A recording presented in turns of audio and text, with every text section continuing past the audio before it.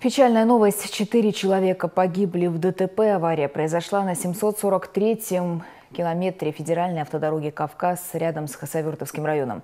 По предварительной информации, 64-летний житель села Буртунай Казбековского района на автомобиле «Лада Приора» выехал на полосу встречного движения и столкнулся с такой же машиной под управлением 36-летнего мужчины. В результате аварии погибли оба водителя и два пассажира, в том числе ребенок. Все обстоятельства произошедшего выясняются.